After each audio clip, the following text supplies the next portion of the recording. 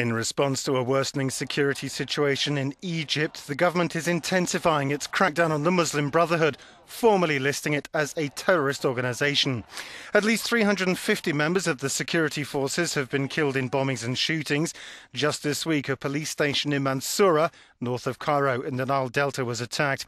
The Muslim Brotherhood has denied responsibility. On the streets of Cairo, there's approval for the move. The decision to declare the Muslim Brotherhood a terrorist group is 100% correct from what we've seen happening in the country lately.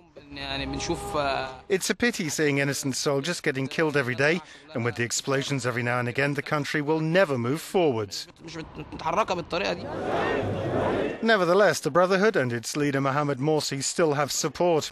Morsi was elected president earlier this year, but deposed in the summer. Although a poll in a newspaper taken before the government declaration said 79% of respondents would support it.